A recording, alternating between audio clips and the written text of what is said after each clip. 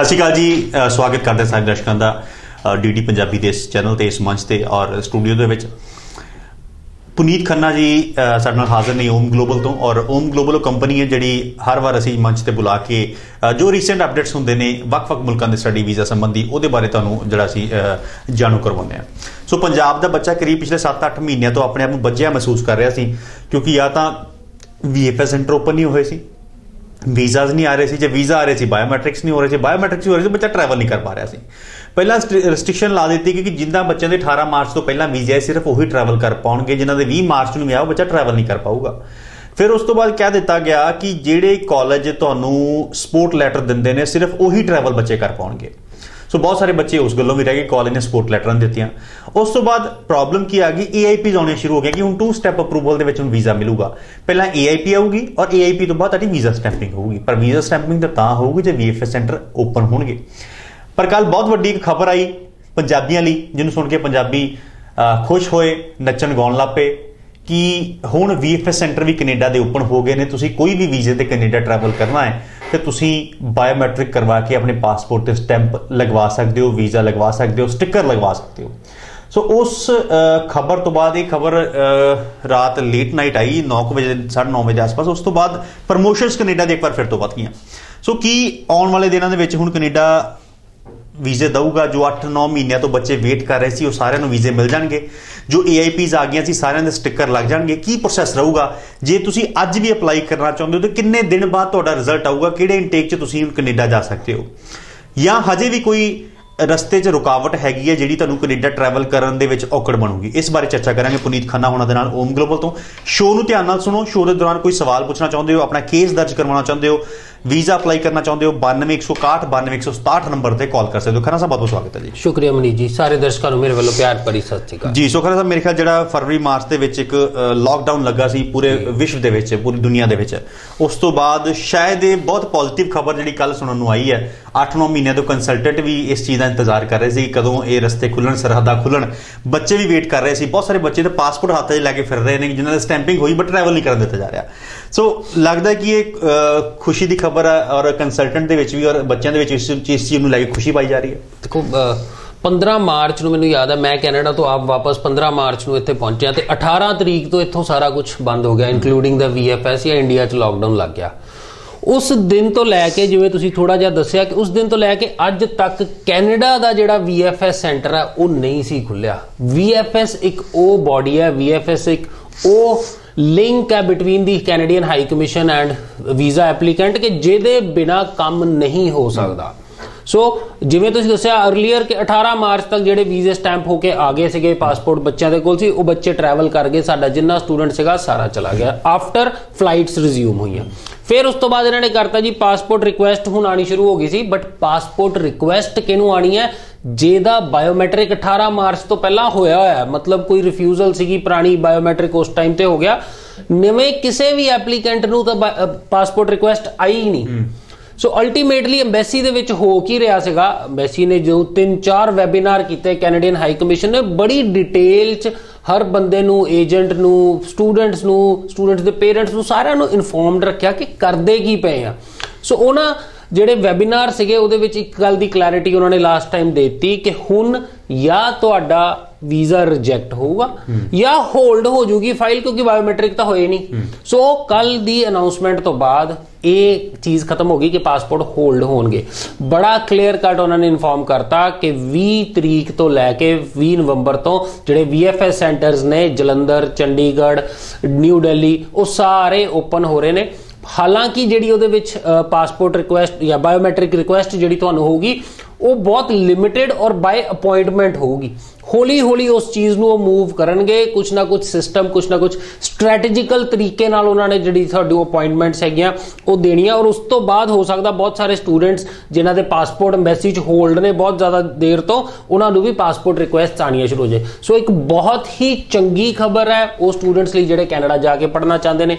ਉਹਨਾਂ agents consultants ਲਈ ਜਿਹੜੇ ਫਾਈਲਾਂ ਹੋਲਡ ਕਰਕੇ ਬੈਠੇ ਸੀ ਜਾਂ ਫਾਈਲਾਂ ਐਮਬੈਸੀ ਦੇ ਵਿੱਚ ਲੱਗੀਆਂ ਸੀ। So overall a good scenario a step forward ਕਿ ਜਿੱਥੇ ਅਸੀਂ ਖੜੇ ਸੀਗੇ ਪਿਛਲੇ 7-8 ਮਹੀਨਿਆਂ ਤੋਂ ਜਿਹੜਾ ਵੀਜ਼ਾ ਗ੍ਰਾਂਟ ਹੈ ਕੈਨੇਡਾ ਦਾ ਰੁਕਿਆ ਹੋਇਆ ਸੀਗਾ ਉਹ ਫੇਰ ਦੁਬਾਰਾ ਚੱਲਣਾ ਸ਼ੁਰੂ ਹੋ ਜਾਏਗਾ। ਜੀ ਸੋ ਹੁਣ ਜਿਹੜੇ ਬੱਚੇ ਕੈਨੇਡਾ ਜਾਣ ਦੀ ਪਲੈਨਿੰਗ ਕਰ ਰਹੇ ਸੀ ਜਨਵਰੀ ਸੈਸ਼ਨ ਦੇ ਵਿੱਚ ਜਾਂ ਫਿਰ ਮਾਰਚ ਦੇ ਲਈ ਹੁਣ ਅਪਲਾਈ ਕਰਨਾ ਚਾਹੁੰਦੇ ਸੀ ਪਰ ਇਸੇ ਚੀਜ਼ ਦੀ ਵੇਟ ਕਰ ਰਹੇ ਸੀ ਬਾਇਓਮੈਟ੍ਰਿਕਸ ਅਜੇ ਓਪਨ ਨਹੀਂ ਹੋ ਰਹੇ ਵੀਜ਼ਾ ਸਟੈਂਪ ਨਹੀਂ ਹੋ ਰਹੇ। ਸੋ ਕੀ ਲੱਗਦਾ ਕਿ ਇਹ ਰਾਈਟ ਟਾਈਮ ਆ ਉਹਨਾਂ ਨੂੰ ਹੁਣ ਅਪਲਾਈ ਕਰ ਲੈਣਾ ਚਾਹੀਦਾ ਜਾਂ ਹਜੇ ਵੇਟ ਕਰ ਲੈਣ ਜੋ ਆਪਾਂ ਗੱਲ ਕਰਦੇ ਸੀ ਹਰ ਸ਼ੋਅ ਦੇ ਵਿੱਚ ਕਿ 50 60000 ਫਾਈਲ ਹਜੇ ਐਮਬੈਸੀ 'ਚ ਪੈਂਡਿੰਗ ਪਈ ਹੈ ਜਾਂ। ਉਹ ਲੋਟ ਨਿਕਲ ਲੈਣ ਦੇਣ ਉਸ ਤੋਂ ਬਾਅਦ ਅਪਲਾਈ ਕਰਨਾ? ਨਹੀਂ ਜੀ ਬਿਲਕੁਲ ਹੁਣ ਮੇਰਾ ਮੇਰਾ ਨਹੀਂ ਖਿਆਲ ਕਿ ਕਿਸੇ ਵੀ ਤਰੀਕੇ ਦੇ ਨਾਲ ਤੁਹਾਨੂੰ ਵੇਟ ਕਰਨ ਦੀ ਲੋੜ ਹੈਗੀ ਹੈ।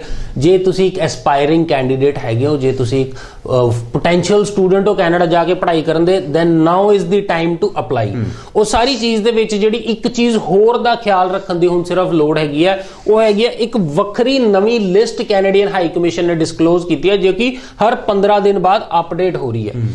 ਇੱਕ ਡੀਐਲਆਈ ਲਿਸਟ ਹੈ ਜਿਹਦੇ ਚ ਇਹ ਹੈ ਕਿ ਇੰਟਰਨੈਸ਼ਨਲ ਸਟੂਡੈਂਟ ਕਿਹੜੇ ਕਿਹੜੇ ਕਾਲਜ ਜਾ ਸਕਦਾ ਹੈ। ਇਹ ਇੱਕ ਵੱਖਰੀ ਲਿਸਟ ਹੈ ਕੋਵਿਡ ਰੈਡੀਨੈਸ ਪਲਾਨ ਦੇ ਤਹਿਤ ਇਹ ਲਿਸਟ ਬਣਾਈ ਗਈ ਹੈ ਜਿਹਦੇ ਵਿੱਚ ਕੁਝ ਲਿਮਿਟਿਡ ਕਾਲਜਸ ਨੇ।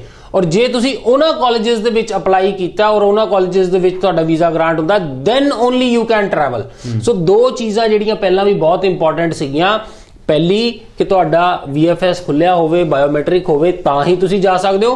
ਹੁਣ ਦੂਸਰੀ ਜਦੋਂ VFS ਖੁੱਲ ਗਿਆ ਇੱਕੋ ਹੀ ਚੀਜ਼ ਇੰਪੋਰਟੈਂਟ ਰਹਿ ਗਈ ਕਿ ਜਿਹੜੇ ਕਾਲਜ ਤੁਸੀਂ ਅਪਲਾਈ ਕਰੋਗੇ ਉਹ ਕਾਲਜ ਇਸ ਲਿਸਟ ਦੂਸਰੀ ਲਿਸਟ ਦੇ ਵਿੱਚ ਜ਼ਰੂਰ ਹੋਣਾ ਚਾਹੀਦਾ ਜਿਹਨੇ ਕੋਵਿਡ ਰੈਡੀਨੈਸ ਪਲਾਨ ਇਮੀਗ੍ਰੇਸ਼ਨ ਤੋਂ ICCRC ਤੋਂ ਅਪਰੂਵ ਕਰਾ ਲਿਆ। ਪਰ ਅ, ਸਾਹਿਬ ਇਹ ਹੁਣ ਬੱਚੇ ਨੂੰ ਕਿਵੇਂ ਪਤਾ ਹੋਊਗਾ ਕਿ ਲੱਗਦਾ ਨਹੀਂ ਕਿ ਇਹ ਇਸ ਰੈਡੀਨੈਸ ਪਲਾਨ ਜਾਂ ਕਾਲਜ ਦੀ ਲਿਸਟ ਦੇ ਬਿਹਾਫ ਤੇ ਵੀ ਕੰਸਲਟੈਂਟ ਨੂੰ ਠੱਗੀ ਮਾਰ ਸਕਦੇ? ਦੇਖੋ, ਇਹ ਇਹ ਤਾਂ ਬੱਚੇ ਤੇ ਡਿਪੈਂਡ ਕਰਦਾ ਕਿਉਂਕਿ ਇਹ ਲਿਸਟ ਰੈਡੀਲੀ ਅਵੇਲੇਬਲ ਪਈ ਹੈ। ਜੇ ਆਪਾਂ ICCRC ਦੀ ਵੈਬਸਾਈਟ ਤੇ ਜਾਈਏ canada.ca ਤੇ ਜਾਓ ਉੱਤੇ ਜਾ ਕੇ ਇਹ ਲਿਸਟ ਤੁਸੀਂ ਦੇਖ ਸਕਦੇ ਹੋ ਕਿ ਲਿਸਟ ਦੇ ਵਿੱਚ ਕਿਹੜਾ ਕਿਹੜਾ ਪ੍ਰੋਵਿੰਸ ਵਾਈਜ਼ ਕਾਲਜਸ ਦੇ ਨਾਮ ਉਹਨਾਂ ਨੇ ਦਿੱਤੇ ਹੋਏ ਆ ਕਿ ਓਨਟਾਰੀਓ ਚ ਕਿਹੜੇ ਕਿਹੜੇ ਕਾਲਜ ਆ BC ਚ ਕਿਹੜੇ ਆ ਕਿਊਬੈਕ ਦੇ ਕਿਹੜੇ ਕਿਹੜੇ ਕਾਲਜਸ ਉਸ ਲਿਸਟ ਦੇ ਵਿੱਚ ਹੈਗੇ ਆ। ਜੇ ਕਿਸੇ ਨੂੰ ਉਹ ਲਿਸਟ ਚਾਹੀਦੀ ਹੈ ਸਾਡੇ ਕੋਲ ਆਫਿਸ ਆ ਕੇ ਵਿਜ਼ਿਟ ਕਰਕੇ ਲੈ ਸਕਦਾ will provide you that list so ਤੁਹਾਡਾ ਕਾਲਜ ਉਹ ਚ ਹੋਣਾ ਬਹੁਤ ਜ਼ਰੂਰੀ ਹੈ ਹਾਲਾਂਕਿ ਉਹ ਲਿਸਟ ਹਰ 15 ਦਿਨ ਬਾਅਦ ਅਪਡੇਟ ਹੋ ਰਹੀ ਹੈ, ਹਰ 15 ਦਿਨ ਬਾਅਦ ਕੁਝ ਨਵੇਂ ਕਾਲਜਸ ਉਹਦੇ ਵਿੱਚ ਐਡ ਆਨ ਹੋ ਰਿਹਾ ਉਸ ਲਿਸਟ ਦੇ ਵਿੱਚ। ਸੋ ਆ, ਜੇ ਤੁਹਾਡਾ ਕਾਲਜ ਉਸ ਲਿਸਟ ਦੇ ਵਿੱਚ ਹੈ ਬਾਇਓਮੈਟ੍ਰਿਕ ਤੁਹਾਡੀ ਹੋਗੀ then it is time that you can travel to Canada as a student. ਪਰ ਜਿਹੜੇ ਪੰਜਾਬ ਦੇ ਬੱਚੇ ਨੇ ਪਿਛਲੇ 2 ਸਾਲ 2.5 ਸਾਲ ਦੀ ਗੱਲ ਕਰ ਲਈਏ ਤਾਂ ਉਹਨਾਂ ਦਾ ਜਿਹੜਾ ਡੈਸਟੀਨੇਸ਼ਨ ਸੀ ਉਹ ਮੌਂਟਰੀਅਲ ਕਿਊਬਿਕ ਬੰਦਾ ਜਾ ਰਿਹਾ ਸੋ ਕੀ ਜਿਹੜੇ ਮੌਂਟਰੀਅਲ ਦੇ ਕੁਝ ਇੱਕ ਨਾਮੀ ਕਾਲਜਸ ਨੇ ਉਹ ਸਾਰੇ ਇਹਨਾਂ ਲਿਸਟ ਵਿੱਚ ਹੈਗੇ ਨੇ? ਮੌਂਟਰੀਅਲ ਦੇ ਬਹੁਤ ਸਾਰੇ ਕਾਲਜਸ ਇਸ ਲਿਸਟ ਦੇ ਵਿੱਚ ਹੈਗੇ ਆ। ਜਿਹੜੀ ਲਿਸਟ ਤਿਆਰ ਹੋਈ ਹੈ ਨਾ ਮੈਂ ਬੜੀ ਡਿਟੇਲ ਦੇ ਵਿੱਚ ਕੋਵਿਡ ਰੈਡੀਨੈਸ ਪਲਾਨ ਆਪਣੇ ਕਾਲਜਸ ਦੇ ਵੀ ਸਬਮਿਟ ਕਰਾਏ ਸਾਰਾ ਕੁਝ ਦੇਖਿਆ।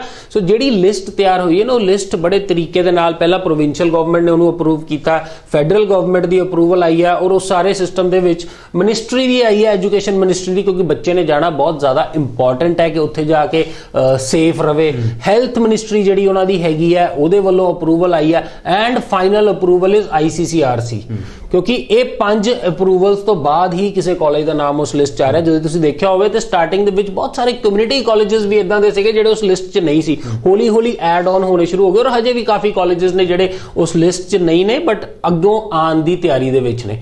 So list is very important Quebec ਦੇ ਜਿਵੇਂ ਮਨੀਸ਼ ਜੀ ਨੇ ਕਿਹਾ, ਬਹੁਤ ਸਾਰੇ ਕਾਲਜਸ ਨੇ ਜਿਹੜੇ ਉਸ ਲਿਸਟ ਦੇ ਵਿੱਚ ਹੈਗੇ ਆ। ਓਨਟਾਰੀਓ ਦੇ BC ਦੇ ਕਾਫੀ ਕਾਲਜਸ ਉਸ ਲਿਸਟ ਦੇ ਵਿੱਚ already they made it to the list so find your college then apply ਜੀ, ਔਰ ਸਕਸੈਸ ਰੇਟ ਦੀ ਗੱਲ ਕਰਾਂਗੇ, ਪਰ ਦਰਸ਼ਕਾਂ ਨੂੰ ਦੱਸ ਦਿੰਦੇ ਹਾਂ ਕਿ ਜੇਕਰ ਤੁਸੀਂ ਕੈਨੇਡਾ ਸਟੱਡੀ ਵੀਜ਼ਾ ਤੇ ਜਾਣਾ ਚਾਹੁੰਦੇ ਹੋ ਇਟਸ ਦ ਰਾਈਟ ਟਾਈਮ ਤੁਸੀਂ ਅਪਲਾਈ ਕਰ ਸਕਦੇ ਹੋ। ਕਿਉਂਕਿ ਜਦ ਤੁਸੀਂ ਅਪਲਾਈ ਕਰਨਾ ਹੈ ਆਫਰ ਲੈਟਰ ਆਉਣੀ ਹੈ ਫੀਸ ਟ੍ਰਾਂਸਫਰ ਹੋਊਗੀ, ਉਸ ਤੋਂ ਬਾਅਦ ਤੁਹਾਡੀ ਲੈਟਰ ਆਫ ਐਕਸੈਪਟੈਂਸ ਆਏਗੀ, ਤੁਹਾਡਾ ਮੈਡੀਕਲ ਹੋਊਗਾ, ਤੁਹਾਡੀ ਜੀਏਸੀ ਜਾਊਗਾ ਫਾਈਲ ਐਮਬੈਸੀ ਜਾਊਗੀ ਰਿਜ਼ਲਟ ਆਊਗਾ, ਉਹਨੇ ਚਿਰ ਤੱਕ ਜੋ ਹਾਈ ਕਮਿਸ਼ਨ ਦੇ ਵਿੱਚ ਲੋਟ ਪਿਆ ਸੀ ਪਿਛਲਾ ਪੈਂਡਿੰਗ ਉਹ ਸਾਰਾ ਕਲੀਅਰ ਹੋਣ ਜਾ ਰਿਹਾ ਹੈ। ਕਿਉਂਕਿ ਜਲੰਧਰ ਦੀ ਗੱਲ ਕਰ ਲਈਏ, ਚੰਡੀਗੜ੍ਹ ਦੀ ਗੱਲ ਕਰ ਲਈਏ, ਅਹਿਮਦਾਬਾਦ ਦੀ ਗੱਲ ਕਰ ਲਈਏ, ਦਿੱਲੀ ਗੱਲ ਕਰ ਲਈਏ, ਬੈਂਗਲੁਰੂ ਦੀ ਗੱਲ ਕਰ ਲਈਏ, ਇੱਥੇ ਸਾਰੇ ਹੁਣ ਵੀਜ਼ਾ ਐਪਲੀਕੇਸ਼ਨ ਸੈਂਟਰਸ ਜਿਹੜੇ ਨੇ, ਉਹ ਓਪਨ ਹੋ ਚੁੱਕੇ ਨੇ, ਤੁਸੀਂ ਬਾਇਓਮੈਟ੍ਰਿਕਸ ਹੁਣ ਕਰਵਾ ਸਕਦੇ ਹੋ, ਜੇਕਰ ਤੁਹਾਨੂੰ ਇਨਸਟਰਕਸ਼ਨਸ ਲੈਟਰ ਮਿਲ ਚੁੱਕੀਆਂ ਨੇ ਜਾਂ ਜੇਕਰ ਤੁਹਾਡੇ ਆਲਰੇਡੀ ਵੀਜ਼ਾ ਗ੍ਰਾਂਟ ਹੋ ਚੁੱਕੇ ਨੇ। ਖਨਾ ਸਾਹਿਬ ਇੱਥੇ ਇੱਕ ਹੋਰ ਚੀਜ਼ ਪੁੱਛਣਾ ਚਾਹੂੰਗਾ। ਜਿਸ ਬੱਚਿਆਂ ਦੀ AIPs ਆ ਗਈਆਂ ਸੀ ਅਪਰੂਵਲ ਇਨ ਪ੍ਰਿੰਸੀਪਲ ਆ ਗਿਆ ਸੀ ਕਿ ਉਹ ਵੀ ਹੁਣ ਬਾਇਓਮੈਟ੍ਰਿਕ ਕਰਵਾ ਕੇ ਆਪਣੇ ਪਾਸਪੋਰਟ ਸਟੈਂਪਿੰਗ ਕਰਾ ਸਕਦੇ? ਐਬਸੋਲੂਟਲੀ ਬਟ ਅਗੇਨ ਜਿਵੇਂ ਕਿ ਉਹਨਾਂ ਨੇ ਕੱਲ ਅਨਾਉਂਸ ਕੀਤਾ ਕਿ ਇਹ ਜਿਹੜੀ ਬਾਇਓਮੈਟ੍ਰਿਕਸ ਦੀ ਤੁਹਾਨੂੰ ਮਿਲੂਗੀ it will be strictly by appointment so ਜਿਸ ਤਰੀਕੇ ਦੇ ਨਾਲ ਪਹਿਲਾਂ ਅਪਾਇੰਟਮੈਂਟ ਮਿਲਦੀ ਸੀ ਤੁਹਾਨੂੰ ਇਹਦੇ ਵਿੱਚ ਵੀ ਕਿਉਂਕਿ ਕੱਲ ਹੀ ਅਨਾਉਂਸ ਹੋਇਆ ਸੋ ਇਹਦੇ ਵਿੱਚ ਵੀ ਮੋਸਟ ਪ੍ਰੋਬੇਬਲੀ ਜੋ ਮੈਨੂੰ ਲੱਗਦਾ ਉਹ ਕੀ ਹੋਊਗਾ ਕਿ you will start getting the emails ਕਿ ਭਾਈ ਇੰਨੀ ਤਰੀਕ ਨੂੰ ਇੰਨੇ ਵਜੇ ਤੁਸੀਂ ਆ ਕੇ ਆਪਣੇ ਬਾਇਓਮੈਟ੍ਰਿਕਸ ਕਰਾ ਸਕਦੇ ਹੋ। ਔਰ ਬਿਲਕੁਲ ਜਿਹੜੇ AIP ਵਾਲੇ ਸਟੂਡੈਂਟ ਹੈਗੇ ਆ ਹੋ ਸਕਦਾ ਉਹਨਾਂ ਨੂੰ ਫਰਸਟ ਪ੍ਰੈਫਰੈਂਸ ਦਿੱਤੀ ਜਾਵੇ because they they are hanging in the middle ਕਿ ਜਿਨ੍ਹਾਂ ਦਾ ਵੀਜ਼ਾ ਨਾ ਰਿਫਿਊਜ਼ ਹੋਇਆ ਨਾ ਗ੍ਰਾਂਟ ਹੋਇਆ AIP ਲੈ ਕੇ ਬੈਠੇ ਹੋਏ ਆ ਜੇ ਉਹਨਾਂ ਦੀ ਬਾਇਓਮੈਟ੍ਰਿਕਸ ਹੋ ਜੇ ਉਹ ਪਾਸਪੋਰਟ ਸਬਮਿਟ ਕਰਾਣ ਵੀਜ਼ਾ ਸਟੈਂਪਿੰਗ ਹੋ ਜੇ ਦੇ ਕੈਨ ਕੁਝ AAP ਵਾਲਿਆਂ ਦੀ ਰਿਫਿਊਜ਼ਲਸ ਵੀ ਆ ਗਿਆ ਸੀ। ਬਿਲਕੁਲ ਹੁਣ ਜੇ ਇਹ ਅਪਾਇੰਟਮੈਂਟ ਲੈ ਕੇ ਅਗਰ ਆਪਣੇ ਸਟicker ਲਗਵਾ ਲੈਂਦੇ ਨੇ ਤੇ ਸ਼ਾਇਦ ਰਿਫਿਊਜ਼ਲ ਦਾ ਡਰ ਵੀ ਘਟ ਜਾਊਗਾ ਉਹਨਾਂ ਦਾ। ਬਿਲਕੁਲ ਘਟ ਜਾਊਗਾ because once visa is granted ਫਿਰ ਉਹ ਤੁਹਾਡਾ ਅਪਰੂਵਲ ਇਨ ਪ੍ਰਿੰਸੀਪਲ ਨੂੰ ਅਪਰੂਵਲ ਚ ਕਨਵਰਟ ਹੋ ਗਿਆ ਫਿਰ ਉਹ ਵੀਜ਼ੇ ਚ ਕਨਵਰਟ ਹੋ ਗਿਆ।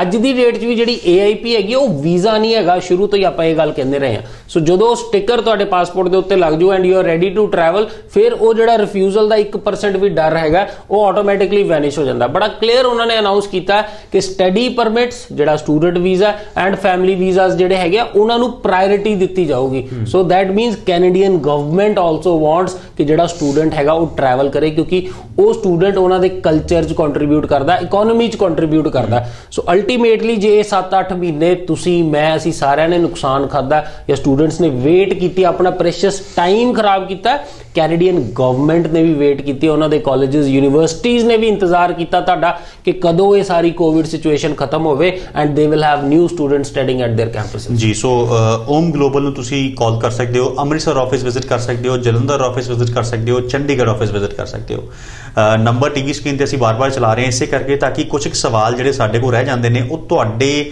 ਪ੍ਰੋਫਾਈਲ ਨਾਲ ਸੰਬੰਧਿਤ ਹੋ ਸਕਦੇ ਨੇ, ਤੁਹਾਡਾ ਨਿੱਜੀ ਐਕਸਪੀਰੀਅੰਸ ਹੋ ਸਕਦਾ, ਨਿੱਜੀ ਤਜਰਬਾ ਹੋ ਸਕਦਾ, ਉਹਨੂੰ ਤੁਸੀਂ ਡਿਸਕਸ ਕਰ ਸਕਦੇ ਹੋ। 9161 92167 ਨੰਬਰ ਤੇ ਕਾਲ ਕਰਕੇ। 9216 92167 9261 92167 ਸੋ ਕਹਿੰਦਾ ਸਾਹਿਬ, ਕੈਨੇਡਾ ਅਨਐਕਸਪੈਕਟਿਡ ਰਿਹਾ ਸ਼ੁਰੂ ਤੋਂ। ਪਹਿਲਾਂ 5.5 ਬੈਂਡ ਤੇ ਵੀਜ਼ੇ ਦਿੱਤੇ ਓਵਰਆਲ 5.5 ਬੈਂਡ ਤੇ। ਫਿਰ 6 ਓਵਰਆਲ ਵਿੱਚੋਂ 5.5 ਬੈਂਡ ਤੇ ਵੀਜ਼ੇ ਆਉਣੇ ਸ਼ੁਰੂ ਹੋ ਗਏ। ਫਿਰ ਐਸਡੀਐਸ ਆ ਗਿਆ 6 ਈਚ ਤੇ ਵੀਜ਼ੇ ਆਉਣੇ ਸ਼ੁਰੂ ਹੋ ਗਏ। ਹੁਣ ਜਦੋਂ ਏਆਈਪੀਜ਼ ਆਉਣੀਆਂ ਸੀ ਜਿਹੜਾ ਲਾਕਡਾਊਨ ਦੌਰਾਨ AIPs ਦੇ ਵਿੱਚ ਆਪਾਂ ਵੀ ਡਿਸਕਸ ਕੀਤਾ ਸੀ ਕਿ ਕੁਝ ਇੱਕ ਸਟੂਡੈਂਟ ਐਸੇ ਸੀ ਜਿਨ੍ਹਾਂ ਦੇ ਓਵਰਆਲ 5.5 ਬੈਂਡ ਸੀ ਉਹਨਾਂ ਨੂੰ ਵੀ ਵੀਜ਼ੇ ਦੇ ਦਿੱਤੇ ਗਏ। ਜੀ। ਰਿਫਿਊਜ਼ਲਸ ਦੀ ਗੱਲ ਕਰ ਲਈਏ ਤਾਂ AIPs ਤੋਂ ਬਾਅਦ ਕੁਝ ਇੱਕ ਬੱਚਿਆਂ ਦੀ ਰਿਫਿਊਜ਼ਲਸ ਆਈਆਂ ਜਿਨ੍ਹਾਂ ਦੇ 7 ਬੈਂਡ ਸੀ ਜਿਨ੍ਹਾਂ ਦੇ 6 ਈਚ ਬੈਂਡ ਸੀ ਉਹਨਾਂ ਦੀ ਵੀ ਰਿਫਿਊਜ਼ਲ ਦੇ ਦਿੱਤੀਆਂ। ਪਰ ਹੁਣ ਅਨਐਕਸਪੈਕਟਿਡ ਹੈ ਕੈਨੇਡਾ ਹੁਣ ਬਾਇਓਮੈਟ੍ਰਿਕਸ ਲਈ ਉਹਨਾਂ ਨੇ ਅਨਾਉਂਸ ਕਰ ਦਿੱਤੀਆਂ ਡੇਟਸ ਕਿ 20 ਨਵੰਬਰ ਤੋਂ ਬਾਇਓਮੈਟ੍ਰਿਕਸ ਹੋ ਸਕਦੇ ਨੇ VFS ਸੈਂਟਰ ਖੁੱਲ ਗਏ ਨੇ ਪੰਜਾਬ ਦੇ ਵਿੱਚ ਦਿੱਲੀ ਦੇ ਵਿੱਚ ਹੋਰ ਨਾ ਥਾਵਾਂ ਤੇ। ਪਰ ਹੁਣ ਆਉਣ ਵਾਲਾ ਫਿਊਚਰ ਕਿਹੜੇ ਬੱਚੇ ਦਾ ਹੋ ਸਕਦਾ ਹੈ? 6 ਈਚ ਵਾਲਿਆਂ ਨੂੰ ਰਿਫਿਊਜ਼ ਕਰ ਰਹੇ ਨੇ 1 ਚੋਂ 5.5 2 ਚੋਂ 5.5 ਵਾਲਿਆਂ ਨੂੰ ਵੀਜ਼ੇ ਮਿਲ ਰਹੇ ਨੇ। ਅੱਗੇ ਫਿਊਚਰ ਕਿਵੇਂ ਦੇਖਦੇ ਹੋ? ਦੇਖੋ, ਆਪਾਂ ਨਾ ਅੱਗੇ ਵੀ ਬੜੀ ਵਾਰੀ ਗੱਲ ਕੀਤੀ ਆ। ਅੱਜ ਫੇਰ ਦੁਬਾਰਾ ਇਸੇ ਬਾਰੇ ਗੱਲ ਕਰਦੇ ਆ ਕਿ ਆਇਲਸ ਕੱਲਾ ਪੈਰਾਮੀਟਰ ਨਹੀਂ ਹੈਗਾ ਤੁਹਾਡੇ ਵੀਜ਼ੇ ਲੈਣ ਦਾ। ਠੀਕ ਹੈ? ਆਇਲਸ ਇੱਕ ਵਨ ਪਾਰਟ ਹੈਗਾ ਆਊਟ ਆਫ 5 ਟੂ 10 ਥਿੰਗਸ ਜਿਹੜੀਆਂ ਐਮਬੈਸੀ ਦੇਖਦੀ ਹੈ ਜੇ ਤੁਸੀਂ ਕਹੋ ਕਿ ਜੀ ਮੈਂ 8 ਬੈਂਡ ਲੈ ਲੇ ਤਾਂ ਮੇਰਾ ਵੀਜ਼ਾ ਲੱਗਣਾ ਚਾਹੀਦਾ ਇਹ ਪੋਸੀਬਲ ਨਹੀਂ ਹੈਗਾ। ਸਿਰਫ ਆਇਲਸ ਦੇ ਬੇਸਿਸ ਦੇ ਉੱਤੇ ਵੀਜ਼ਾ ਨਹੀਂ ਮਿਲਦਾ ਕਿਉਂਕਿ ਇੰਗਲਿਸ਼ ਲੈਂਗੁਏਜ ਪ੍ਰੋਫੀਸ਼ੀਐਂਸੀ ਤੋਂ ਇਲਾਵਾ ਹੋਰ ਕੋਈ ਚੀਜ਼ ਪ੍ਰੂਵ ਨਹੀਂ ਹੁੰਦੀ। ਜੇ ਆਇਲਸ ਇੱਕ ਕ੍ਰਾਈਟੇਰੀਆ ਹੋਵੇ ਇਹਦਾ ਮਤਲਬ ਤਾਂ ਇਹ ਹੋ ਗਿਆ ਕਿ ਆਪਣੇ ਸਾਊਥ ਇੰਡੀਆ ਤੋਂ ਕੇਰਲਾ ਕਰਨਾਟਕਾ ਤੋਂ ਤਾਂ ਕਦੀ ਕਿਸੇ ਦਾ ਕੈਨੇਡਾ ਦਾ ਵੀਜ਼ਾ ਹੀ ਨਾ ਰਿਫਿਊਜ਼ ਹੋਏ। So IELTS is one parameter ਜਿਹੜਾ ਕਿ ਐਮਬੈਸੀ ਦੇਖਦੀ ਹੈ ਤਾਂ ਜੋ ਉਹਨੂੰ ਇਹ ਪਤਾ ਲੱਗੇ ਕਿ ਤੁਹਾਡੀ English up to the mark ਹੈਗੀ ਹੈ। ਉਸ ਤੋਂ ਇਲਾਵਾ ਬੜੀਆਂ ਚੀਜ਼ਾਂ ਨੇ, ਜਿਵੇਂ ਆਪਾਂ ਪਹਿਲਾਂ ਵੀ ਗੱਲ ਕਰਦੇ ਅਕੈਡਮਿਕ ਸਕੋਰ ਕੀ ਹੈਗਾ, ਕਿ ਪਰਸੈਂਟੇਜ ਕੀ ਹੈ। ਭਾਈ, ਜਿੰਨੇ ਨੰਬਰ ਇੱਥੇ ਨੇ, ਜਿੰਨੇ ਪਰਸੈਂਟੇਜ ਤੁਹਾਡੇ ਇੱਥੇ ਹੈਗੇ ਆ, ਕੀ ਉਸ ਹਿਸਾਬ ਨਾਲ ਤੁਸੀਂ ਐਲੀਜੀਬਲ ਹੋ ਕੈਨੇਡਾ ਜਾ ਕੇ ਪੜ੍ਹਾਈ ਕਰਨ ਦੇ? ਉਸ ਤੋਂ ਬਾਅਦ ਉਹ ਦੇਖਿਆ ਜਾਂਦਾ ਕਿ ਗੈਪ ਕਿੰਨਾ ਐਜੂਕੇਸ਼ਨ ਦੇ ਵਿੱਚ, ਕਿ ਕੀ ਪੜ੍ਹਾਈ ਪਿਛਲੇ 5 ਸਾਲਾਂ ਤੋਂ ਮੈਂ ਪੜ੍ਹਾਈ ਨਹੀਂ ਕੀਤੀ ਜੀ, ਹੁਣ ਮੈਂ ਸੁੱਤਾ ਉੱਠਿਆ ਤਾਂ ਮੈਂ ਸੁੱਤਾ ਉੱਠ ਕੇ ਕਹਿੰਦਾ, ਹੁਣ ਮੈਂ ਕੈਨੇਡਾ ਜਾ ਕੇ ਪੜ੍ਹਾਈ ਕਰਨ ਚੱਲਿਆ। ਸੋ ਇਹ ਉਹ ਚੀਜ਼ ਹੈ ਜਿਹੜੀ ਦੇਖੀ ਜਾਂਦੀ। ਕਿਹੜਾ ਕੋਰਸ ਲਿਆ ਕੋਰਸ ਕੋਰਿਲੇਸ਼ਨ ਤੁਹਾਡੀ ਪੁਰਾਣੀ ਪੜ੍ਹਾਈ ਨਾਲ ਬੰਦਾ ਜਾਂ ਇੰਟਰਸਟ ਬੰਦਾ ਜਾਂ ਵਿੱਚ ਕੋਈ ਜੌਬ ਕੀਤੀ ਸੀ, ਉਹਦਾ ਉਹਦੇ ਨਾਲ ਕੀ ਲੈਣਾ ਦੇਣਾ ਉਹ ਦੇਖਿਆ ਜਾਂਦਾ। ਸੋ ਬਹੁਤ ਸਾਰੀਆਂ ਚੀਜ਼ਾਂ ਦਾ ਮਿਕਸਚਰ ਬਣਾ ਕੇ because every visa officer every embassy so Canadian high commission the visa officer ਆ, ਉਹਦੇ ਕੋਲ ਵੀ ਇੱਕ ਚੈੱਕ ਲਿਸਟ ਹੈ ਉਸ ਚੈੱਕ ਲਿਸਟ ਦੇ ਵਿੱਚ ਉਹ ਵੀ ਦੇਖਦਾ ਕਿ ਤੁਹਾਨੂੰ ਦੱਸ ਚੋਂ ਕਿੰਨੇ ਨੰਬਰ ਮਿਲੇ। ਉਹ ਆਇਲਟਸ ਦਾ ਇੱਕ ਨੰਬਰ ਹੀ ਹੈ, ਜੇ ਆਇਲਟਸ ਦਾ ਇੱਕ ਨੰਬਰ ਤੁਹਾਨੂੰ ਮਿਲਦਾ ਤੇ ਓਕੇ ਫਾਈਨ ਨੈਕਸਟ ਸਟੈਪ ਤੇ ਤੁਸੀਂ ਚੱਲ ਜਾਂਦੇ ਹੋ। ਬਟ ਤੁਸੀਂ ਕਹੋ ਕਿ ਨਹੀਂ ਜੀ, ਸਿਰਫ ਮੈਨੂੰ ਆਇਲਟਸ ਦੇ ਬੇਸ ਤੇ ਵੀਜ਼ਾ ਚਾਹੀਦਾ ਐਬਸੋਲੂਟਲੀ ਪੋਸੀਬਲ ਨਹੀਂ ਹੈਗਾ। ਸੋ ਬਾਕੀ ਚੀਜ਼ਾਂ ਵੀ ਉਹਦੇ ਚ ਇਨਕਲੂਡ ਹੋ ਗਈਆਂ। ਸੋ ਅਲਟੀਮੇਟਲੀ ਅੱਜ ਦੀ ਡੇਟ ਦੇ ਵਿੱਚ ਉਹਨਾਂ ਨੇ ਇੱਕੋ ਹੀ ਸ਼ਰਤ ਹੈ ਐਸਡੀਐਸ ਕੈਟਾਗਰੀ ਚ ਅਪਲਾਈ ਕਰਨਾ ਹੈ 6 ਈਚ e ਹੋਣੇ ਚਾਹੀਦੇ ਆ। ਨਹੀਂ ਐਸਡੀਐਸ ਕੈਟਾਗਰੀ ਚ ਅਪਲਾਈ ਕਰਨਾ, ਚਾਹੇ ਇੱਕ ਬੈਂਡ ਹੈ, ਚਾਹੇ ਦੋ ਹੈ, ਚਾਹੇ ਤਿੰਨ ਹੈ, ਚਾਹੇ ਚਾਰ ਹੈ, ਉਹਨਾਂ ਨੂੰ ਕੋਈ ਫ਼ਰਕ ਨਹੀਂ। ਤੁਸੀਂ ਆਪਣਾ ਵੀਜ਼ਾ ਅਪਲਾਈ ਕਰ ਸਕਦੇ ਹੋ। ਅੱਜ ਕੈਨੇਡਾ ਦਾ ਕੋਈ ਵੀ ਕਾਲਜ ਚਾਵੇ ਕੋਈ ਵੀ ਯੂਨੀਵਰਸਿਟੀ ਚਾਵੇ ਤੁਹਾਨੂੰ ਬਿਨਾ ਆਇਲਸ ਦੇ ਦਾਖਲਾ ਦੇ ਸਕਦੇ ਆ। ਬਟ ਉਹ ਦਾਖਲਾ ਹੈ ਸਿਰਫ ਉਹਦਾ ਵੀਜ਼ੇ ਨਾਲ ਕੋਈ ਲੈਣਾ ਦੇਣਾ ਨਹੀਂ। ਐਮਬੈਸੀ ਨੇ ਆਪਣੀ ਇਵੈਲੂਏਸ਼ਨ ਵੱਖਰੀ ਕਰਨੀ ਹੈ। ਕਾਲਜ ਯੂਨੀਵਰਸਿਟੀ ਦੀ ਇਵੈਲੂਏਸ਼ਨ ਵੱਖਰੀ ਹੈ। ਬਹੁਤ ਸਾਰੀਆਂ ਟਾਪ ਯੂਨੀਵਰਸਿਟੀਆਂ ਨੇ ਕੈਨੇਡਾ ਦੇ ਵਿੱਚ ਜਿਹਦੇ ਚ ਆਇਲਸ ਚਾਹੀਦੀ ਨਹੀਂ। ਉਹ ਤੁਹਾਡਾ ਪ੍ਰੋਫਾਈਲ ਹੀ ਉਸ ਲੈਵਲ ਦਾ ਮੰਗਦੇ ਆ ਸੀਬੀਐਸਈ ਬੋਰਡ 90% ਮਾਰਕਸ ਉਹ ਬੱਚੇ ਨੂੰ ਐਡਮਿਸ਼ਨ ਮਿਲੀ ਉਹਨੂੰ ਆਇਲਸ ਦੀ ਲੋੜ ਹੀ ਨਹੀਂ ਹੈਗੀ। ਆਇਲਸ ਆਟੋਮੈਟਿਕਲੀ ਵੇਵਡ ਆਫ ਹੈ। ਉਹ ਬੱਚਾ ਐਸਡੀਐਸ ਚ ਅਪਲਾਈ ਨਹੀਂ ਕਰਦਾ ਬਟ ਤਾਂ ਵੀ 100% ਵੀਜ਼ਾ ਸੋ ਇਹ ਭ੍ਰਮ ਜਿਹੜਾ ਹਮੇਸ਼ਾ ਹੀ ਹੁੰਦਾ ਕਿਉਂਕਿ ਸਾਨੂੰ ਵੀ ਰੈਗੂਲਰਲੀ ਇਹ ਮਨੀਸ਼ ਜੀ ਦਾ ਸਵਾਲ ਬਿਲਕੁਲ ਸਹੀ ਹੈ। ਰੈਗੂਲਰਲੀ ਸਟੂਡੈਂਟਸ ਵਿਜ਼ਿਟ ਕਰਦੇ ਆ ਜਾਂ ਫੋਨ ਆਉਂਦੇ ਭਾਜੀ, ਮੇਰੇ 8 ਬੈਂਡ ਨੇ, ਮੇਰੇ 7 ਬੈਂਡ ਨੇ, ਮੇਰਾ ਵੀਜ਼ਾ ਲੱਗ ਜਾਊਗਾ। ਮੇਰੇ 6 ਬੈਂਡ ਨੇ, ਮੇਰਾ ਵੀਜ਼ਾ ਲੱਗ ਜਾਊਗਾ। ਉਹ ਇੱਕ ਚੀਜ਼ ਹੋ ਗਈ, ਤੇਰੇ 6 ਬੈਂਡ ਨੇ, ਬਹੁਤ ਵਧੀਆ fine tick what about rest of the things ਬਾਕੀ ਕੀ ਕੀਤਾ? ਸਪਾਊਸ ਨੂੰ ਜੀ ਨਾਲ ਲੈ ਕੇ ਜਾਣਾ। ਪਹਿਲਾਂ ਮੈਂ ਦੋ ਵਾਰੀ ਰਿਫਿਊਜ਼ ਹੈਗਾ। ਮੈਂ ਪਲਾਨੀ ਕੰਟਰੀ ਤੋਂ ਡਿਪੋਰਟ ਹੈਗਾ। ਇਮੀਗ੍ਰੇਸ਼ਨ ਹਿਸਟਰੀ ਕੀ ਹੈ? ਫੈਮਿਲੀ ਟਾਈਜ਼ ਕੀ ਨੇ? ਫਾਈਨੈਂਸ਼ੀਅਲ ਹਿਸਟਰੀ ਕੀ ਹੈ? ਬਹੁਤ ਸਾਰੀਆਂ ਚੀਜ਼ਾਂ ਜਿਹੜੀਆਂ ਹੈਗੀਆਂ, ਉਹ ਕੰਟਰੀਬਿਊਟ ਕਰਦੀਆਂ। ਤਾਂ ਇੱਕ ਵੀਜ਼ਾ ਗ੍ਰਾਂਟ ਜਾਂ ਵੀਜ਼ਾ ਰਿਫਿਊਜ਼ ਹੁੰਦਾ। ਇੱਕ ਸਿਰਫ ਆਇਲਸ ਦੇ ਬੇਸਿਸ ਤੇ ਉਹ ਵੀਜ਼ਾ ਗ੍ਰਾਂਟ ਰਿਫਿਊਜ਼ ਨਹੀਂ ਜੀ, ਸੋ ਕਿਸੇ ਵੀ ਇਮੀਗ੍ਰੇਸ਼ਨ ਕੰਸਲਟੈਂਟ ਨੇ ਜਦੋਂ ਕੇਸ ਲੈਣਾ ਹੁੰਦਾ ਤੇ ਅਲਟੀਮੇਟਲੀ ਉਹੀ ਕੇਸ ਫੜਦਾ ਜਿੱਥੇ ਉਹਨੂੰ ਲੱਗਦਾ ਕਿ ਵੀਜ਼ਾ ਆ ਜਾਣਾ। ਦੋ ਤਰ੍ਹਾਂ ਦੇ ਕੰਸਲਟੈਂਟ ਇੱਕ ਨੇ ਪੈਸਾ ਕਮਾਉਣ ਲਈ ਕੰਮ ਕੀਤਾ, ਦੂਜੇ ਦਾ ਪੈਸ਼ਨ ਆ, ਜਾਂ ਦੂਜਾ ਬੱਚਿਆਂ ਦੇ ਫਿਊਚਰ ਬਣਾਉਣਾ ਚਾਹੁੰਦਾ ਤੁਸੀਂ ਵੀ 10-12 ਸਾਲ ਤੋਂ ਇਸ ਇੰਡਸਟਰੀ 'ਚ ਕੰਮ ਕਰਦੇ ਆ ਰਹੇ ਹੋ। ਤੁਹਾਨੂੰ ਕੀ ਲੱਗਦਾ ਕਿ ਅੱਜ ਪ੍ਰੈਜ਼ੈਂਟ ਸਿਨੈਰੀਓ ਦੀ ਗੱਲ ਕਰ ਲਈਏ, ਮੌਕੇ ਦੀ ਗੱਲ ਕਰ ਲਈਏ ਪ੍ਰੈਜ਼ੈਂਟ ਹਾਲਾਤਾਂ ਦੀ ਗੱਲ ਕਰ ਲਈਏ, ਕਿਸ ਤਰ੍ਹਾਂ ਦਾ ਪ੍ਰੋਫਾਈਲ ਵਾਲਾ ਬੱਚਾ ਤੁਸੀਂ ਓਨ ਗਲੋਬਲ ਦੇ ਵਿੱਚ ਲਾਓਗੇ ਕਿ ਤੁਹਾਨੂੰ ਲੱਗਦਾ ਉਹ ਵੇਖ ਕੇ ਪ੍ਰੋਫਾਈਲ ਕਿ ਹਾਂ, ਮੈਂ ਇਹਦਾ ਵੀਜ਼ਾ ਲਵਾ ਸਕਦਾ। ਦੇਖੋ ਪ੍ਰੋਫਾਈਲ ਤੇ ਆਪਾਂ ਜੇ ਆ ਜਾਈਏ ਆਇਲਸ ਤੋਂ ਗੱਲ ਸ਼ੁਰੂ ਕੀਤੀ ਸੀ। ਸੋ ਪਹਿਲਾਂ ਆਇਲਸ ਦੀ ਗੱਲ ਹੀ ਕਰਾਂਗਾ। ਸੋ ਪਹਿਲੀ ਪਹਿਲੀ ਚੀਜ਼ ਤੁਹਾਡੀ ਜਿਹੜੀ ਰਿਕੁਆਇਰਮੈਂਟ ਹੈਗੀ ਹੈ, ਕਿਉਂਕਿ 10ਵੀਂ 12ਵੀਂ ਤਾਂ ਸਾਰਿਆਂ ਨੇ ਕੀਤੀ ਹੁੰਦੀ ਸੋ ਫਰਸਟ ਰਿਕੁਆਇਰਮੈਂਟ ਤੁਸੀਂ ਆਇਲਸ ਚ ਓਵਰਆਲ 6 ਬੈਂਡ ਹੈਗੇ ਆ। ਤੁਹਾਡੇ 1 ਚੋਂ 2 ਚੋਂ 5.5 ਨੇ। Okay fine we'll accept that case academically 55% marks ਤੁਸੀਂ ਸਕੋਰ ਕੀਤੇ ਆ। 55% ਤੋਂ ਉੱਤੇ ਤੁਹਾਡੇ ਨੰਬਰ ਹੈਗੇ ਆ। Absolutely fine we will take that case 2 3 4 ਸਾਲ ਦਾ ਤੁਹਾਡਾ ਗੈਪ ਹੈਗਾ okay fine we'll accepted but ਸਾਨੂੰ ਨਾਲ ਦੱਸੋ ਤੁਸੀਂ ਉਸ ਟਾਈਮ ਦੌਰਾਨ ਕੀਤਾ ਕੀ ਹੈ? ਕੀ ਕਰਦੇ ਸੀ? ਕੀ ਕੰਮ ਕੀਤਾ ਫਾਦਰ ਨਾਲ, ਮਤਲਬ whatever you have done ਉਹਦੀ ਡਿਟੇਲ ਸਾਨੂੰ ਦਿਓ। ਜੇ ਤੁਸੀਂ ਸਾਨੂੰ ਦੱਸੋਗੇ, ਤਾਂ ਅਸੀਂ ਐਮਬੈਸੀ ਨੂੰ ਦੱਸਣ ਜੋਗੇ ਹੋਵਾਂਗੇ। ਫਾਈਨੈਂਸ਼ੀਅਲ ਕੈਪੇਬਿਲਿਟੀ ਕੀ ਹੈਗੀ ਹੈ ਤੁਹਾਡੀ ਸਾਲ ਦੀ ਫੀਸ ਦੇਣ ਦੀ ਕਪੈਸਿਟੀ ਹੈਗੀ ਹੈ ਜੀਆਈਸੀ ਭਰਨ ਦੀ ਕਪੈਸਿਟੀ ਹੈਗੀ ਹੈ ਉੱਥੇ ਜਾ ਕੇ ਇਹ ਤਾਂ ਨਹੀਂ ਹੋਊਗਾ ਕਿ ਕੱਲ ਨੂੰ ਤੁਹਾਡੇ ਕੋਲ ਪੈਸੇ ਨਹੀਂ ਹੋਣਗੇ। ਕਰਜ਼ਾ ਚੁੱਕ ਕੇ ਚੱਲਿਓ, ਆਪਣੇ ਪੈਸੇ ਲਾ ਕੇ ਚੱਲਿਓ, ਕੋਈ ਜ਼ਮੀਨ ਵੇਚ ਕੇ ਚੱਲਿਓ, ਕਿਉਂਕਿ ਬਹੁਤ ਸਾਰੀਆਂ ਡਿਟੇਲਸ ਨੇ ਜਿਹੜੀਆਂ ਅਸੀਂ ਤੁਹਾਡੇ ਤੋਂ ਲੈਂਦੇ ਆ, ਜਦੋਂ ਤੁਹਾਡਾ ਵੀਜ਼ਾ ਅਪਲਾਈ ਕਰਨਾ ਹੁੰਦਾ ਨਾ, ਉਸ ਤੋਂ ਪਹਿਲਾਂ। ਸਟੂਡੈਂਟ ਡਾਕੂਮੈਂਟ ਤੁਸੀਂ ਆਪਣੇ ਕਾਗਜ਼ ਚੱਕੋ 10ਵੀਂ 12ਵੀਂ ਆਇਲਸ ਪਾਸਪੋਰਟ ਫਾਈਨੈਂਸ਼ੀਅਲ ਬੈਕਗ੍ਰਾਉਂਡ ਨਹੀਂ ਲੈ ਕੇ ਆਣੀ ਨਾਲ ਸਿਰਫ ਡਿਟੇਲਸ ਲੈ ਆਓ ਕਿ ਕਿੰਨੇ ਪੈਸੇ ਹੈਗੇ ਆ, ਕਿੰਨੇ ਪੈਸੇ ਖਰਚ ਸਕਦੇ ਹੋ। ਕਿਹੜੀ ਪ੍ਰੋਵਿੰਸ ਦੇ ਵਿੱਚ ਕੈਨੇਡਾ ਜਾ ਕੇ ਪੜ੍ਹਾਈ ਕਰਨੀ ਹੈ, ਕਿਹਦੇ ਕੋਲ ਰਹਿਣਾ ਹੈ ਕਿਸ ਤਰੀਕੇ ਦੀ ਪੜ੍ਹਾਈ ਕਰਨੀ ਹੈ, ਅੱਗੋਂ ਦੀ ਫਿਊਚਰ ਗੋਲਸ ਕੀ ਨੇ? ਬਹੁਤ ਸਾਰੇ ਸਵਾਲ ਨੇ, ਸਿਰਫ ਵੀਜ਼ਾ ਹੀ ਸਾਰਾ ਕੁਝ ਨਹੀਂ ਹੁੰਦਾ। ਐਕਚੁਅਲੀ ਦੇ ਵਿੱਚ ਵੀਜ਼ਾ ਲੱਗਣ ਤੋਂ ਬਾਅਦ ਤਾਂ ਜ਼ਿੰਦਗੀ ਸ਼ੁਰੂ ਹੋਣੀ ਹੈ। ਉੱਥੇ ਜਾ ਕੇ ਪਤਾ ਲੱਗਦਾ ਕੀ ਭਾਅ ਪੈਂਦੀ ਹੈ ਕਿ ਜਦੋਂ ਆਪ ਸਾਰਾ ਕੁਝ ਕਰਨਾ ਪੈਂਦਾ, ਭਾਂਡੇ ਵੀ ਮਾਂਜਣੇ ਪੈਂਦੇ ਤੇ ਰੋਟੀ ਵੀ ਬਣਾਉਣੀ ਪੈਂਦੀ ਹੈ। ਬਹੁਤ ਸਾਰੇ ਸਟੂਡੈਂਟਸ ਦੇਖਿਆ, ਉੱਥੇ ਜਾ ਕੇ ਖੱਜਲ ਹੁੰਦੇ ਹੋਏ ਕਿ ਜਿਨ੍ਹਾਂ ਨੇ ਇੱਥੇ ਕਦੀ ਕੁਝ ਕੀਤਾ ਨਹੀਂ। ਬਟ ਅਲਟੀਮੇਟਲੀ ਇੱਕ ਡ੍ਰੀਮ ਡੈਸਟੀਨੇਸ਼ਨ ਹੈ। ਸਟੂਡੈਂਟ ਬੜਾ ਖੁਸ਼ ਹੈ, ਅੱਜ ਤੱਕ ਕਿਸੇ ਨੇ ਕੰਪਲੇਂਟ ਕਰਕੇ ਇਹ ਨਹੀਂ ਕਿਹਾ ਕਿ ਭਾਜੀ ਮੈਨੂੰ ਕੰਮ ਨਹੀਂ ਮਿਲਿਆ। ਜਾਂ ਕਿਸੇ ਨੇ ਇਹ ਨਹੀਂ ਕਿਹਾ ਕਿ ਮੈਨੂੰ ਰੋਟੀ ਜੋਗੇ ਪੈਸੇ ਨਹੀਂ ਕਮਾਏ ਜਾਂਦੇ ਜਾਂ ਮੈਨੂੰ ਫੀਸਾਂ ਇੰਡੀਆ ਤੋਂ ਮੰਗਾਣੀਆਂ ਪੈ ਰਹੀਆਂ। ਸੋ ਬਹੁਤ ਸਾਰੀ ਓਪਰਚੁਨਿਟੀ ਹੈ ਇਫ ਯੂ ਆਰ ਪ੍ਰੀਪੇਅਰਡ ਜੇ ਤੁਹਾਡੇ ਪ੍ਰੋਫਾਈਲ ਚੰਗਾ ਹੈ, ਸਾਰਾ ਕੁਝ ਚੰਗਾ ਔਰ ਮੈਂਟਲੀ ਸੈਟੀਸਫਾਈਡ ਹੋ ਪ੍ਰੀਪੇਅਰਡ ਹੋ ਕਿ ਨਹੀਂ ਜੀ, ਮੈਂ ਉੱਥੇ ਜਾ ਕੇ ਕੁਝ ਕਰਨਾ ਹੈ ਲਾਈਫ ਦੇ ਵਿੱਚ then it is right time now VFS ਖੁੱਲਣ ਤੋਂ ਬਾਅਦ ਇੱਕ ਹਾਰਡ ਵਰਗਾ ਕੰਮ ਹੋ ਜਾਣਾ ਵੀਐਫਐਸ ਦੇ ਵੱਲ ਹੌਲੀ ਹੌਲੀ ਕਿਉਂਕਿ ਇਹ ਨੰਬਰਸ ਵਧਨੇ ਹੀ ਹੈ। ਜੇ ਅੱਜ ਉਹਨਾਂ ਨੇ 10 ਅਪਾਇੰਟਮੈਂਟਾਂ ਤੋਂ ਸ਼ੁਰੂ ਕੀਤਾ ਤਾਂ ਕੱਲ ਨੂੰ ਉਹ 15 20 25 50 100 ਤੱਕ ਜਾਣੀ ਹੈ। ਤਾਂ ਉਹਨਾਂ ਦਾ ਬੈਕਲੌਗ ਨਿਕਲਣਾ ਔਰ ਅੱਗੋਂ ਦੀ ਨਵੀਂ ਪੋਪੂਲੇਸ਼ਨ ਤਾਂ ਤਿਆਰ ਬੈਠੀ ਹੈ ਅਪਲਾਈ ਕਰਨ ਲਈ। ਜਿਹੜੇ ਵੇਟ ਕਰਦੇ ਸੀ ਕਿ VFS ਖੁੱਲੂਗਾ, ਫਿਰ ਮੈਂ ਵੀਜ਼ਾ ਅਪਲਾਈ ਕਰਾਂਗਾ। ਜੀ ਸੋ ਅਸੀਂ ਅਕਸਰ ਇਸ ਮੰਚ ਤੇ ਗੱਲ ਕਰਦੇ ਹਾਂ ਕਿ ਕੋਈ ਵੀ ਕੰਸਲਟੈਂਟ ਉਸ ਬੰਦੇ ਤੇ ਪੈਸਾ ਲਾਉਂਦਾ ਜਿੱਥੇ ਲੱਗਦਾ ਕਿ ਇੱਥੇ ਪੈਸਾ ਲਾ ਕੇ ਮੈਨੂੰ ਚਾਰ ਪੈਸੇ ਵੱਧ ਬਚ ਜਾਣਗੇ। ਤੁਸੀਂ ਹੁਣੇ ਗੱਲ ਕੀਤੀ ਕਿ 6 ਬੈਂਡ ਓਵਰਆਲ ਹੋਣੇ ਚਾਹੀਦੇ ਬੱਚੇ ਦੇ ਕਿਸੇ ਇੱਕ ਮੋਡਿਊਲ ਚੋਂ 5.5 ਬੈਂਡ ਤਾਂ ਵੀ ਤੁਸੀਂ ਕੇਸ ਲਓਗੇ ਦੋ ਚ 5.5 ਤਾਂ ਵੀ ਤੁਸੀਂ ਕੇਸ ਲੈ ਲੋਗੇ ਪਰ ਅਲਟੀਮੇਟਲੀ ਜਿਵੇਂ ਮੈਂ ਪਹਿਲਾਂ ਵੀ ਕਿਹਾ ਸੀ ਦੋ ਤਰ੍ਹਾਂ ਦੇ ਕੰਸਲਟੈਂਟ ਹੈ ਇੱਕ ਜਿਹਦੇ ਕੋਲ ਪੈਸ਼ਨ ਆ ਜਿੰਨੇ ਬੱਚੇ ਦਾ ਫਿਊਚਰ ਬਣਾਉਣਾ ਦੂਜਾ ਜਿਹਨੇ ਪੈਸਾ ਕਮਾਉਣਾ। ਹੁਣ ਇੱਕ ਮੋਡਿਊਲ ਚੋਂ 5.5 ਬੈਂਡ ਵਾਲਾ ਬੱਚਾ ਜਾਂ ਦੋ ਮੋਡਿਊਲ ਚੋਂ 5.5 ਬੈਂਡ ਵਾਲਾ ਬੱਚਾ ਓਵਰਆਲ 6 ਬੈਂਡ ਆ ਰੀਸੈਂਟ ਪਾਸ ਆਊਟ ਚਲੋ 18 19 20 ਪਾਸ ਆਊਟ। ਜਾਊਗਾ ਕਿ ਐਸੇ ਬੱਚਿਆਂ ਦਾ ਵੀ ਤੁਸੀਂ ਫੀਸ ਆਫਟਰ ਵੀਜ਼ਾ ਲੈ ਸਕਦੇ ਹੋ? ਜਾਂ ਸਿਰਫ ਕੰਸਲਟੈਂਟ ਇਹ ਕਹਿੰਦਾ ਕਿ ਮੈਂ 6 ਈਚ ਵਾਲਿਆਂ ਕੋ ਫੀਸ ਆਫਟਰ ਵੀਜ਼ਾ ਲਾਉਂਗਾ ਜਿਹਦੇ ਇੱਕ ਚੋਂ 5.5 ਆ, ਦੋ ਚੋਂ 5.5 ਆ, ਉਹ ਆਪਣੀ ਫੀਸਾਂ ਆਪ ਭਰ ਲਏ। ਓਮ ਗਲੋਬਲ ਕੀ ਕਰੂਗਾ? ਸਾਰਿਆਂ ਕੋ ਫੀਸ ਆਫਟਰ ਵੀਜ਼ਾ ਲਊਗਾ ਜਾਂ ਸਿਰਫ ਕਰੀਮ ਕੇਸਾਂ ਕੋ ਫੀਸ ਆਫਟਰ ਵੀਜ਼ਾ ਲਊਗਾ ਬਾਕੀਆਂ ਕੋ ਫੀਸਾਂ ਭਰਵਾਊਗਾ ਦੇਖੋ ਜਦੋਂ ਮਨੀਸ਼ ਜੀ ਇੱਥੇ ਬਹਿ ਕੇ ਤੁਹਾਡੇ ਸਾਹਮਣੇ ਕਹਿ ਦਿੱਤਾ ਕਿ ਫੀਸ ਆਫਟਰ ਵੀਜ਼ਾ ਫਿਰ ਜਿਹਦੇ 2 ਚ 5.5 ਹੈ ਜਾਂ 1 ਚ 5.5 ਹੈ ਉਹਨੇ ਤੁਹਾਡੀ ਵੀਡੀਓ ਦੀ ਕਲਿੱਪ ਨਾਲ ਲੈ ਕੇ ਆਣੀ ਕਿ ਭਾਜੀ ਤੁਸੀਂ ਮੈਨੂੰ ਆਹ ਕਿਹਾ ਸੀਗਾ ਮੈਂ ਤਾਂ ਆਹ ਦੇਖ ਕੇ ਆਇਆ। ਸੋ ਕਿਸੇ ਵੀ ਤਰੀਕੇ ਦਾ ਤੁਹਾਡਾ ਪ੍ਰੋਫਾਈਲ ਹੈ ਜਾਂ ਅਸੀਂ ਉਹਨੂੰ ਐਕਸੈਪਟ ਕਰਾਂਗੇ ਜਾਂ ਨਹੀਂ ਕਰਾਂਗੇ। ਔਰ ਜੇ ਅਸੀਂ ਉਹਨੂੰ ਐਕਸੈਪਟ ਕਰਾਂਗੇ ਫਿਰ ਇਹ ਕਮਿਟਮੈਂਟ ਦੇ ਨਾਲ ਕਰਾਂਗੇ ਕਿ ਤੁਹਾਡਾ ਮੋਨਿਟਰੀ ਲਾਸ ਨਹੀਂ ਹੋਊਗਾ ਕੋਈ ਵੀ।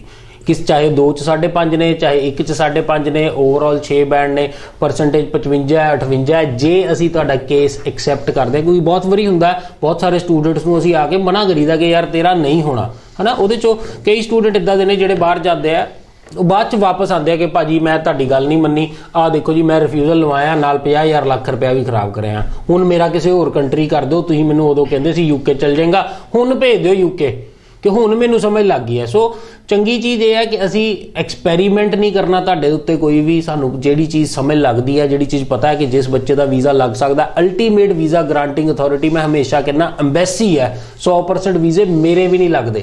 ਪਰ ਜੇ ਤੁਹਾਡਾ ਵੀਜ਼ਾ ਰਿਫਿਊਜ਼ ਹੁੰਦਾ ਤੇ ਪੈਸੇ ਦਾ ਨੁਕਸਾਨ ਮੇਰਾ ਹੁੰਦਾ। ਕੋਈ ਵੀ ਬੰਦਾ ਅੱਜ ਦੀ ਡੇਟ 'ਚ ਇਹ ਨਹੀਂ ਚਾਹੁੰਦਾ ਕਿ ਉਹ ਆਪਣਾ ਪੈਸਿਆਂ ਦਾ ਨੁਕਸਾਨ ਕਰ ਲਵੇ ਕਿਸੇ ਕਰਕੇ ਠੀਕ ਹੈ? ਸੋ ਕੋਈ ਵੀ ਸਟੂਡੈਂਟ ਜਿਹੜਾ ਐਕਸੈਪਟ ਹੋਊਗਾ ਉਹ ਫੀਸ ਆਫਟਰ ਵੀਜ਼ਾ ਦੀ ਕੈਟਾਗਰੀ ਦੇ ਵਿੱਚ ਹੀ ਆਪਣਾ ਵੀਜ਼ਾ ਅਪਲਾਈ ਕਰਾਏਗਾ। ਜੀ ਸੋ ਜੇਕਰ ਤੁਸੀਂ 12ਵੀਂ ਪਾਸ ਹੋ, ਕੈਨੇਡਾ ਜਾਣਾ ਚਾਹੁੰਦੇ ਹੋ, ਲੰਮੇ ਸਮੇਂ ਤੋਂ ਉਡੀਕ ਕਰ ਰਹੇ ਸੀ, ਕਦੋਂ ਵੀਐਫਐਸ ਸੈਂਟਰ ਖੁੱਲਣਗੇ, ਜਦੋਂ ਖੁੱਲਣਗੇ ਅਸੀਂ ਤਾਂ ਉਦੋਂ ਹੀ ਅਪਲਾਈ ਕਰਨਾ ਹੈ। ਸੋ ਵੀਐਫਐਸ ਸੈਂਟਰ ਓਪਨ ਹੋ ਗਏ ਨੇ, ਬਾਇਓਮੈਟ੍ਰਿਕਸ ਹੋਣੇ ਸ਼ੁਰੂ ਹੋ ਗਏ ਨੇ, ਤੁਸੀਂ ਹੁਣ ਕੇਸਿਸ ਅਪਲਾਈ ਕਰ ਸਕਦੇ ਹੋ। ਤੁਹਾਡੇ ਓਵਰਆਲ 6 ਬੈਂਡ ਹੋਣੇ ਚਾਹੀਦੇ ਨੇ, ਕਿਸੇ ਇੱਕ ਚੋਂ 5.5 ਜਾਂ ਦੋ ਚੋਂ 5.5 ਬੈਂਡ ਰਹਿ ਗਏ, ਤਾਂ ਵੀ ਤੁਸੀਂ ਹੋਮ ਗਲੋਬਲ ਦੀ ਸਰਵਿਸਿਜ਼ ਲੈ ਸਕਦੇ ਹੋ। ਸਭ ਤੋਂ ਵੱਡੀ ਗੱਲ ਇਹਨੇ ਕਹੀ, ਤੁਹਾਡਾ ਕਿਸੇ ਤਰ੍ਹਾਂ ਦਾ ਮੋਨੀਟਰੀ ਲਾਸ ਨਹੀਂ ਹੋਊਗਾ। ਕੋਈ ਪੈਸੇ ਦਾ ਲਾਸ ਨਹੀਂ ਹੋਣ ਦਿੱਤਾ ਜਾਊਗਾ, ਵੀਜ਼ਾ ਲੱਗਣਾ ਜਾਂ ਨਹੀਂ ਲੱਗਣਾ, ਉਹ ਇੱਕ ਵੀਜ਼ਾ ਅਫਸਰ ਦੇ ਹੱਥ ਦੇ ਵਿੱਚ ਹੈ। ਪਰ ਇੱਥੇ ਤੁਹਾਨੂੰ ਇਸ ਚੀਜ਼ ਦੀ ਤਸੱਲੀ ਦਿੱਤੀ ਜਾਂਦੀ ਹੈ ਕਿ ਕਿਸੇ ਤਰ੍ਹਾਂ ਦਾ ਤੁਹਾਡਾ ਜਿਹੜਾ ਪੈਸੇ ਦਾ ਨੁਕਸਾਨ ਨਹੀਂ ਹੋਣ ਦਿੱਤਾ ਜਾਊਗਾ। ਤੁਸੀਂ ABC ਕੰਸਲਟੈਂਟ ਦੇ ਕੋਲ ਜਾ ਕੇ ਅਪਲਾਈ ਕਰਦੇ ਹੋ, ਤਾਂ ਕੋਈ 40 50 ਹਜ਼ਾਰ ਰੁਪਏ ਦਾ ਨੁਕਸਾਨ ਹੋ ਜਾਂਦਾ ਹੈ।